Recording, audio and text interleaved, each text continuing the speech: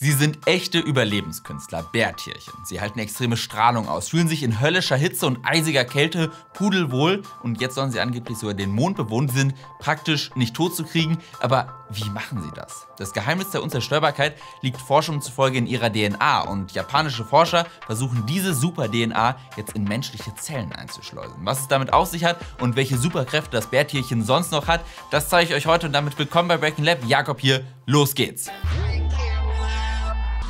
Kakerlaken gelten allgemein als unkaputtbar. Sie sind durch ihren Chitinpatzer gut geschützt und können bis zu neun Tage ohne Kopf leben. Das ist zugegebenermaßen schon ziemlich beeindruckend, aber ein Tier kann es damit aufnehmen. Die Tardigrade, besser bekannt als Bärtierchen. Sie überstehen quasi alles. Austrocknung, kochendes Wasser, hohen Druck, eisige Kälte, ein Bad in ätzender Lösung, eine hohe Dosis radioaktiver Strahlung und sogar das Vakuum des Weltalls. Kaum zu glauben eigentlich und deshalb habe ich mir das mal genauer angeschaut. Wie schaffen es diese winzigen Tiere so unglaublich widerstandsfähig zu sein? Was lässt sich aus der DNA der Tiere herauslesen und könnte das sogar dem Menschen helfen, widerstandsfähiger gegenüber Extrembedingungen zu werden? So sehen sie aus. Allerdings sind sie nur unter dem Mikroskop gut zu erkennen, denn das Bärtierchen ist ziemlich klein. Ihr Körper ist zwischen 0,1 und 1,2 mm lang. Zum Vergleich, so ein Floh, der ist 2 bis 3 mm lang und eine Fliege 6 bis 7 mm. Bärtierchen sind wirbellose Wassertiere und wurden 1773 erstmals entdeckt. Bis heute sind etwa 1200 Arten aus den verschiedensten Lebensräumen wie dem Meer oder dem Süßwasser bekannt, aber auch an Land hat man Bärtierchen gefunden, zum Beispiel in Alaska im Schlamm einer Kläranlage oder einfach in Moosen.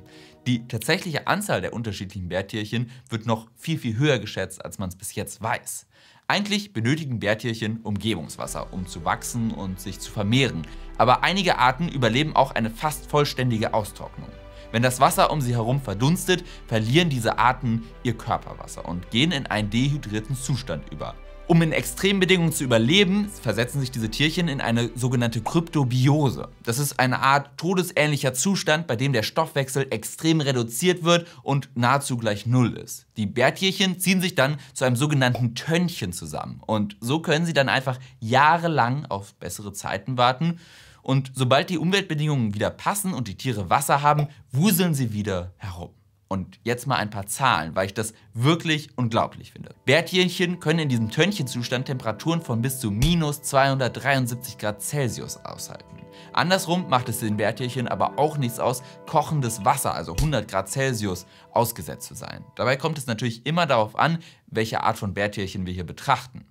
Es gibt extrem tolerante, aber auch weniger tolerante Arten. Ganz ohne diesen dehydrierten Tönchenzustand leben Bärtierchen ungefähr zwei Jahre. Sie können aber ihr Leben quasi künstlich um Jahrzehnte verlängern mit diesem Tönchenzustand. Bärtierchen halten nicht nur krasse Temperaturen aus, sondern auch Strahlung. Und hier muss man jetzt mal in Richtung DNA schauen. Die genomische DNA speichert alle genetischen Informationen und ist für die Aufrechterhaltung der normalen Zellaktivität und Vermehrung extrem wichtig. Strahlung verursacht normalerweise schwere Schäden in der DNA, zum Beispiel Doppelstrangbrüche. Und das führt zu Genominstabilität und sogar zum Tod. Aber nicht bei Bärtierchen. Einige Arten halten selbst im hydrierten Zustand noch Strahlung in Höhe von 5.000 bis 6.000 Gray aus. Dafür müssen sie also noch nicht einmal in ihren ausgetrockneten Zustand wechseln.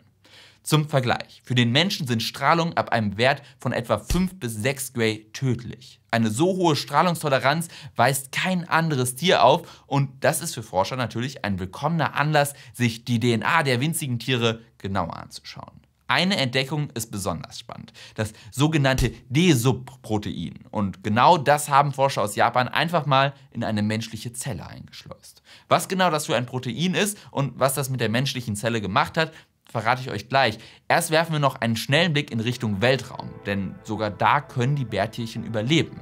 Im April 2019 sollte eine israelische Raumsonde auf dem Mond landen. An Bord einige wissenschaftliche Geräte, Schriftstücke und tausende getrocknete Bärtierchen. Vor ein paar Jahren haben Bärtierchen schon einmal eine Weltraumtour von 10 Tagen überlebt und darauf wollte man aufbauen.